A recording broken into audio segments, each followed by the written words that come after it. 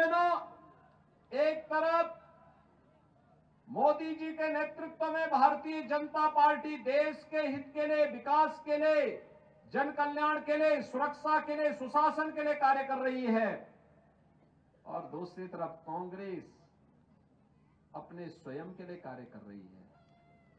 जब लोग सूखा झेलते हैं, कांग्रेस के नेता पिकनिक मनाने के लिए निकल चलते हैं। जब देश अतिवृष्टि की चपेट में होता है कांग्रेस के लोग तब भी देश छोड़ करके बाहर रहते हैं। और जब देश के ऊपर संकट आता है, ये अपने घरों में दुबक जाते हैं। और भाइयों बहनों कांग्रेस न विकास करा सकती है, न सुरक्षा दे सकती है, न सुशासन दे सकती है। और फिर भारत में रहते हैं तो भारत की आस्था, भारत की आस्था का भी सम्मान नहीं कर सकते। याद करिए केवल एक उदाहरण ही मैं आपको देता हूँ। भाइयों बहनों, पाँच साल पहले यहाँ पे राजस्थान में भारतीय जनता पार्टी की सरकार थी, जन समस्याओं का समाधान होता था, विकास दिखाई देता था। आज पैसा देने के बाद भी ये सरकार काम नहीं कर रही है। विकास के कार्यों को आगे नहीं बढ़ा पा रही है। और अपराध तो में तो यानी अपराध में नंबर एक पर।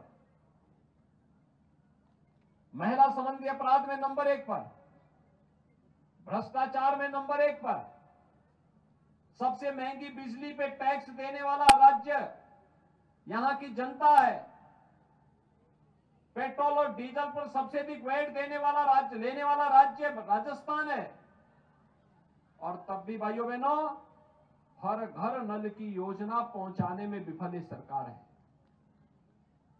पैसा केंद्र सरकार दे रही है, लेकिन उसको जमीनी धरातल पर उतारने का कार्य नहीं कर रही है। और सुरक्षा के क्या हाल है? ये तो कन्हैया लाल तेली को हमने देख देख चुके हैं। कैसे बर्बर हत्या कर दी थी उसकी। भैया बहनों, एक तरफ़ कांग्रेस है जो कांग्रेस कहती है कि देश के संसाधनों पर पहला अधिकार इस सबके बावजूद कहती है पहला अधिकार मुसलमान का है। लेकिन मोदी जी कहते हैं, देश के संसाधन पर पहला अधिकार गरीब का है, किसान का है, दलित का है, वंचित का है, महिलाओं का है, हमारे नौजवानों का है, और इसके लिए उन्होंने नारा दिया, सबका साथ, सबके विकास का। कांग्रेस किसी समस्या का समाधान नहीं कर सकती, विकास नहीं कर सकती, गरीब कल्याण नहीं कर सकती। और आपकी आस्था का भी सम्मान नहीं कर सकती। आप मुझे बताइए, अगर मोदी जी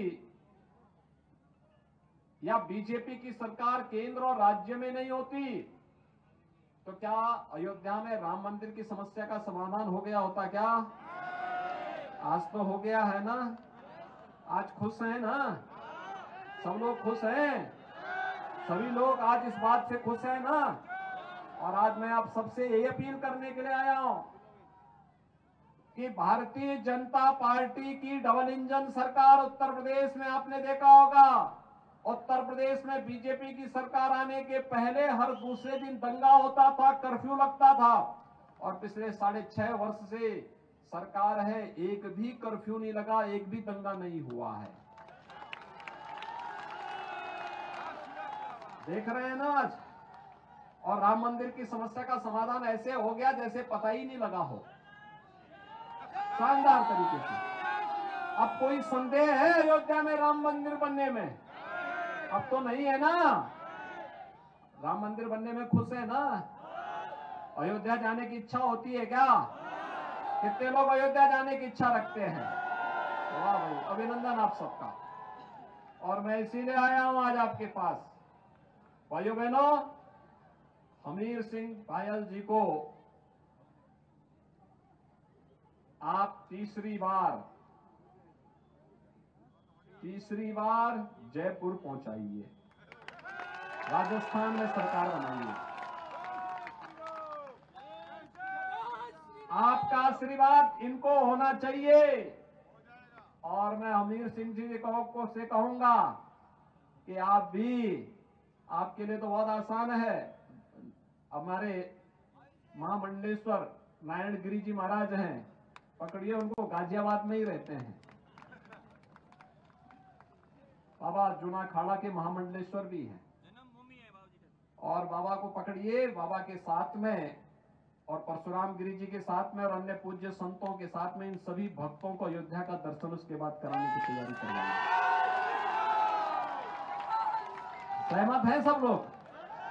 सब लोग सहमत है ना? तो मैं आज स्वस्थ होकर के जाऊँ। भाइयों बहनों, आप सबका मैं एक बार फिर से अभिनंदन करता हूँ। आप सब मेरे साथ बोलेंगे, भारत माता की, भारत माता की, जय श्री राम। जय जय